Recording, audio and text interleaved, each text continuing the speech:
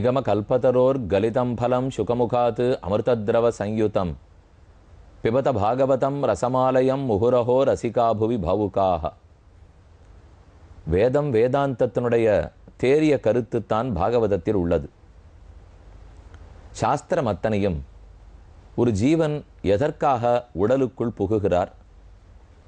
கர்மத்தின் அதீனப்பட்டு புகுகிறார். நெடுங்காலமாக அவர் சேர்த்து வச்சிருக்கிற கர்மம். அதனால்தான் ஒரு உடலிலிருந்து அடுத்த உடலுக்கே செல்கிறார். ஒரு உடலில் போய் புதியது புதியதான அனுபவத்தை பெறுகிறார். ஓர் உடலுக்குள் புகுந்து புதிய அனுபவத்தை சந்தித்தால் அது ஜனனம்னு சொல்லுகிறோம். அந்த உடலை பற்றின நினைவு அற்று போகுமானால் மரணம்னு சொல்லுகிறோம். அப்போ புது உடல் புது அனுபவம் ஜனனம். அந்த உடலை என்னெல்லாம் நாம் பயணி வந்திருக்கோமோ அது மறந்து படுத்து அது இனிமேல் ஞாபகம் இல்லை வேற புது அனுபவம் என்னால்? பழையதற்கு மரணம் புதியதற்கு ஜனனம். ஆத்மா பிறப்பதும் இல்லை மறிப்பதும் இல்லை. ஆனால் ஆத்மா உடலை எடுத்துக்கொள்ளுகிறாரே புது அனுபவத்தை பெறுகிறார் அதுதான் பிறவி. பழைய அனுபவத்தை விட்டுடுறார் அதுதான் மரணம். இவ்வளவுதான் உத்தவா என்று கண்ணன் உத்தவருக்கு உபதேசித்து வருகிறார். நாம் இப்போது இருப்பது இருபத்தி ரெண்டாவது அத்தியாயத்தில். பதினோராவது ஸ்கந்தம் இருபத்தி ரெண்டாவது அத்தியாயம். பிரகிருதி புருஷோபவ் பிரகிருதியும் சரி புருஷனும் சரி. மூல பிரகிருதியான அச்சித்து அதனுடைய காரியங்களாக இருக்கிற உடல் புலன் அது இது எல்லாம். இது இத்தனைக்குள்ளே ஆத்மா எப்போதும் கட்டுப்பட்டிருக்கிறார். அப்போ எப்படி இவரை பிரித்து பார்க்கறது? இது ஆத்மா இது பிரகிருதி இது உடல் அப்படின்னு பிரித்து பார்ப்பதற்கு வழியாது தெரியலையேனால் ஒன்று அனித்யம் ஒன்று நித்தியம் ஒன்று அறிவற்றது ஒன்று அறிவுள்ளது. ஒன்று அழியக்கூடியது ஒன்று அழிவில்லாதது. ஒன்று நான்கிற எண்ணத்தோடு இருக்கிறது மற்றொன்றத்துக்கு அந்த எண்ணம் கிடையாது. ஒன்று அறிவாக தான் தான் அறிவை கொடுத்து மற்றொன்னை வேலை செய்யவே வைக்கும். மற்றொன்றால் ஆத்மா புறப்பட்டு போயிட்டார்னா வேலை செய்யறதுக்கே முடியாது. இப்படி கண்ணுக்கு நேர எத்தனை வேறுபாடுகள்? ஆத்தியாத்ம ஆதி தெய்வ ஆதி பௌத்தம் என்ன இப்போ மூணு விஷயம் சொல்ல போகிறார் நம்முடைய புலன்கள்லாம் இருக்கே. இந்த ஒரு ஒரு புலனும் ஒரு தெய்வம் புகும். இந்த ஒன்னொன்றுத்துக்குள்ளும் ஒரு சக்தி போகும். அதை வச்சுன்னு வச்சுன்னு தான் நம்ம எல்லா வேலையுமே பார்க்குறோமோ? என்னன்னு பார்ப்போம். அத்தியாத்ம அதிதெய்வ அதிபூத. என்ன இப்போ மூணு சொல்ல போகிறோம் அதில் அத்தியாத்மம் முதல்ல கண்ணு. சக்ஷுர் கோளக்கம் கண்ணுங்கிற மாம்ச துண்டு இருக்கு பாருங்க. அதுதான் நம்மிடத்தில் இருக்கிற ஒரு புலன்.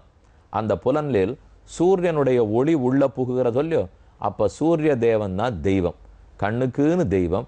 சூரிய ஒளி புகுந்தே பார்வை இருக்கிறபடியால் அவர் தான் தேவதை அதிலிருந்து அதிபூதம். எதை பார்க்கிறோம்? ரூபம்.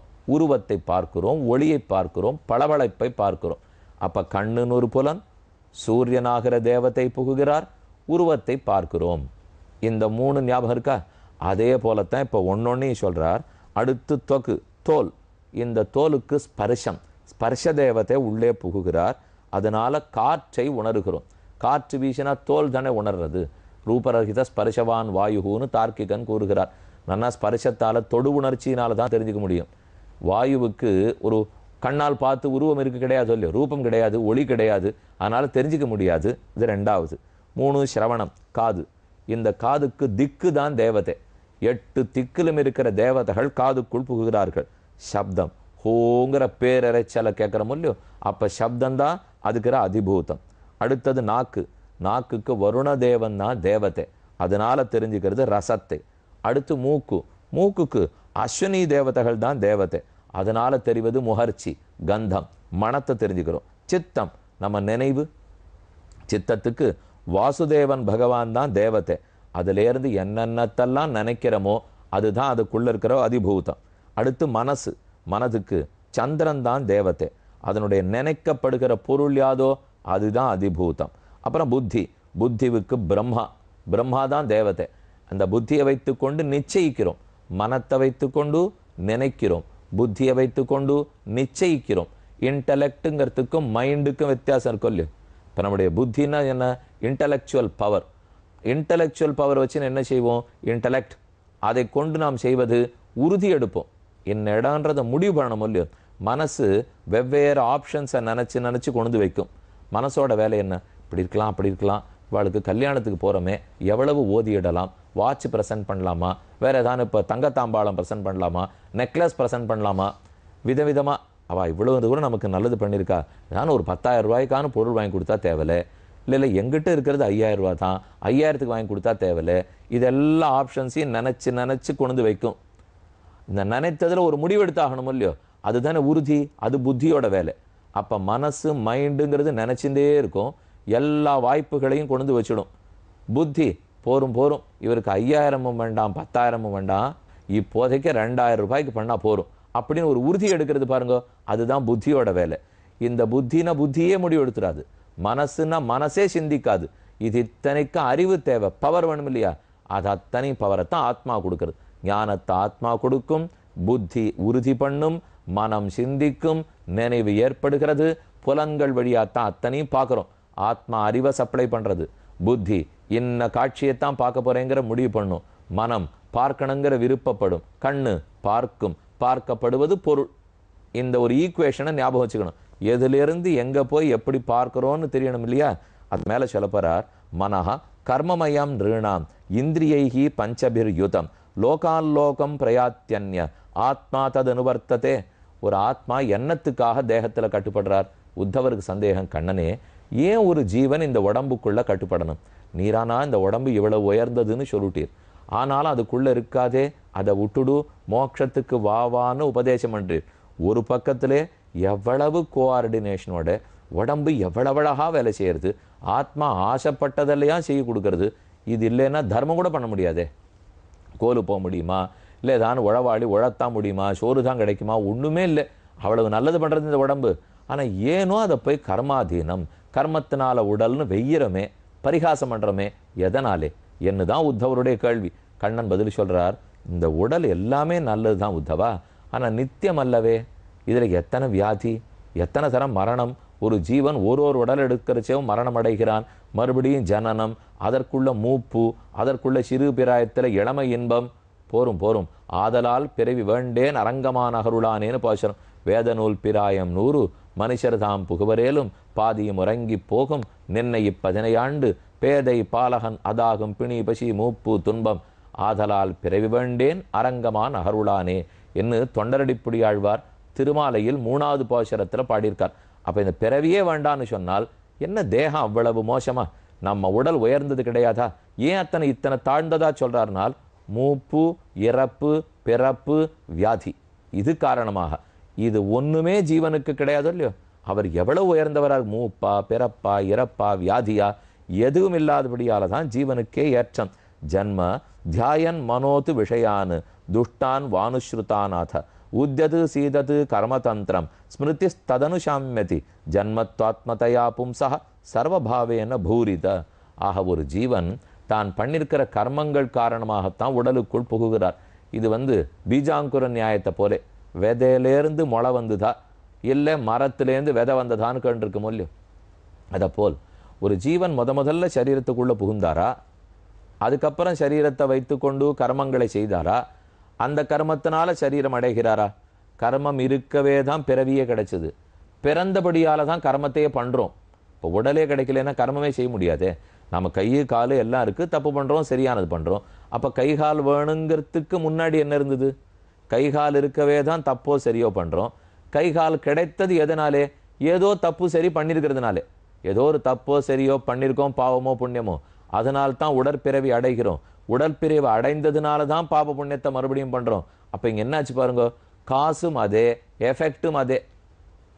எது காரணம்? கர்மா. இதனால் பிரயோஜனம்? கர்மா. நம்ம உடல் எடுத்ததுக்கு எது காரணம்னு கேட்டாலும் கர்மங்கள்னு சொல்லிட போகிறோம் உடலை எடுத்து என்ன பண்ணிருந்தாலும் கர்மங்கள் தான் சொல்ல போகிறோம் அப்போ இந்த சுழல்லேருந்து வெளியில் வரணும் இல்லையோ? எப்போ இந்த சுழலுக்குள் சிக்கி கொள்ளுகிறாரோ? ஒரு தேகத்தை விட்டு இன்னொரு தேகத்துக்கு போகிறாரோ அது ஜனனம்னு சொல்லப்படுறது.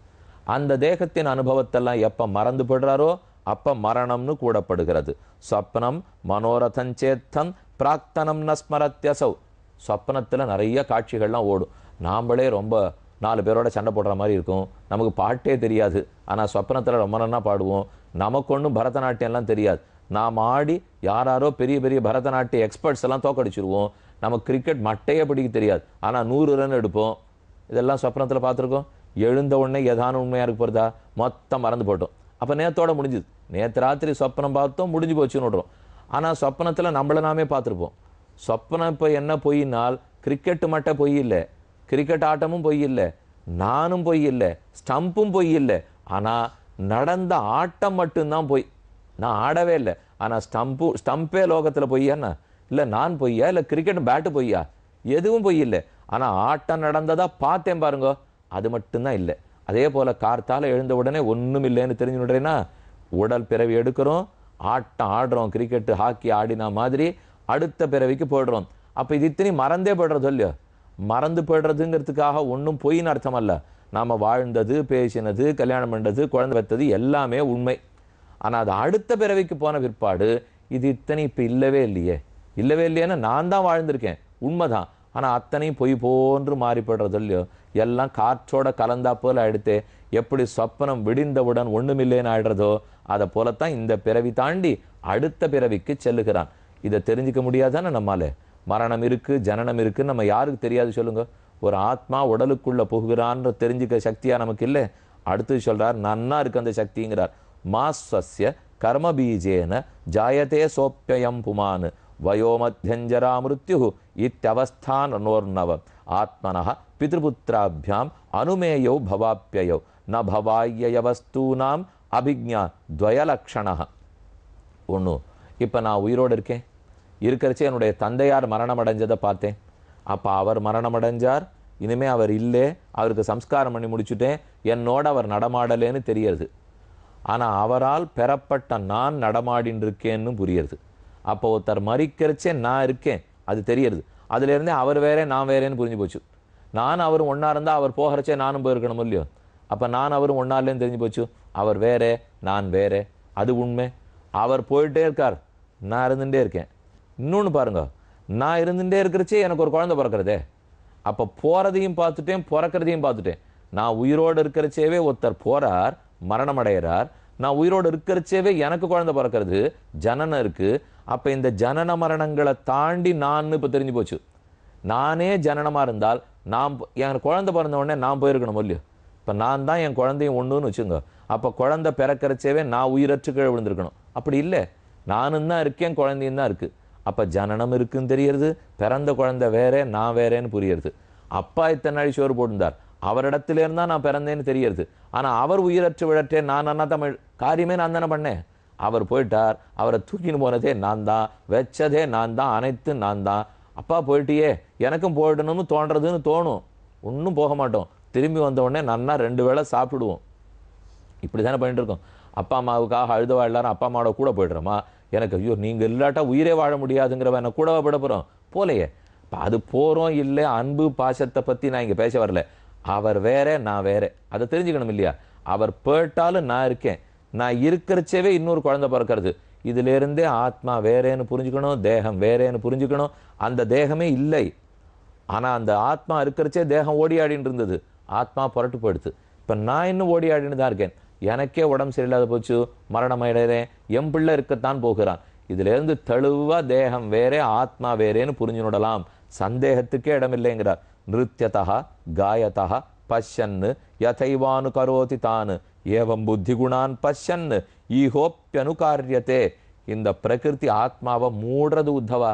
உடம்பு ஆத்மாவை மூடிண்டு ஆத்மா ஆத்மா பாடாது ஆடாது பேசாது சாப்பிடாது தூங்காது. ஆனா அது எப்போ பார்த்தாலும் இந்த உடம்புக்குள்ளேயே இருக்கு பாருங்க. அதை பார்த்து பார்த்தே. இப்போ ஒரு டான்சர் பரதநாட்டிய எக்ஸ்பர்ட் ரொம்ப நன்னா ஆடின்னு இருக்கார். நான் பார்த்தோன்னே என் கால் தாளம் போடலையா? யாரோ ஒருத்தர் ரொம்ப நன்னா பாடின்னு இருக்கார். உடனே நானா கை தட்டலையா? பஜனையில் போய் உட்காந்துக்கிறேன் பாட்டுன்னா என்னன்னு எனக்கு தெரியாது. நான் பஜனையில் உட்காந்துறேன் அப்படி ஒரு ராகம் இழுக்கலையா? சரியாக பண்ணுறேனோ இல்லையோ? அப்போ அதை பார்த்த உடனே நானும் பண்ணுறேன் இல்லை இமிட்டேட் பண்ணுறதாவே வச்சுங்களேன். அதை பார்த்து நானும் பண்ணுறேனோ இல்லையோ? அதை போல் இந்த ஜீவன் உடம்புக்குள்ளே உட்காண்டு உட்காண்டு உடம்புக்கு இருக்கிற சுக துக்கம்லாம் தன்னுது தன்னுதுன்னு இமிட்டேட் பண்ணுறது ஏன்னா அது உள்ளே இருக்குது அப்போ அந்த உடம்பு என்னென்ன படுறதோ அந்த சுக துக்கத்தை தன்னதுன்னு நினைக்கிறது. உண்மையில் இந்த ஆத்மாவுக்கு சுகமும் இல்லை துக்கமும் இல்லை. வெறும் இமிட்டேஷன் அதை பா மிமிக்ரி சொல்கிறோம் இமிட்டேட் பண்ணுறதுன்னு சொல்கிறோம் நடிக்கிறோன்னு சொல்கிறோம் அதை போல் இந்த உடலை பார்த்து பார்த்து தானே உடல். நான் தான் சிங்கமாக கர்ஜித்தேன். நான் தான் நாயாக குறைச்சேன்னா இது நாயும் இல்லை சிங்கமும் இல்லை குறைக்கவும் இல்லை கர்ஜிக்கவும் இல்லை. இவர் ஆத்மா. ஆனால் எடுத்துட்டு உடலை அதுக்குள்ளேயே கிடந்துட்டபடியால் நானே நானேன்னு பிரமிக்கிறார் பார். இந்த எண்ணத்தை மாத்துறது ரொம்ப முக்கியம் உத்தவா. என்னதை சொல்லி அழகான விஷயம் சொல்ல போகிறார் மரம் மரத்தை குளத்துல பார்க்குறோம் குளம் சலனம் அடையிறது தண்ணீர் ஆடுறது. உடனே மரம் ஆடுறது மரம் ஆடுறதா? மரம் நின்று தானே இருக்குது அது ஆடுறதே. அதே போல் ஆத்மா எப்பவும் உண்மையாத்தான் இருக்கும். எடுத்துண்ட உடல்ல தான் இந்த மாறுதல் அத்தனையும். ஆனால் இன்னொன்று குளத்துல இருக்கிற தண்ணீர் ஆடித்து மரம் ஆடித்துங்கிறதுக்காக ஆட்டம் பொய்யே தவிர மரம் பொய் இல்லை. மரம் உண்மைதான். ஆனால் அந்த மரம் ஆடித்துங்கிறது மட்டும்தானே பொய்யாருது நம்ம உடலும் பொய்யல்ல ஆத்மாவும் பொய்யல்ல. ஆனால் இதை எடுத்துட்டு சுகதுக்கங்களை அனுபவிக்கிறதா நினச்சிக்கிறோமே. அது வந்தேரி அது செயற்கை கர்மாதீனமாக ஏற்பட்டிருக்கிறது. அதைத்தான் தாண்டறதுக்கு வழி பார்க்கணும் என்று கண்ணன் மேலே உபதேசிக்க போகிறார் கேட்போம். இந்நிகழ்ச்சி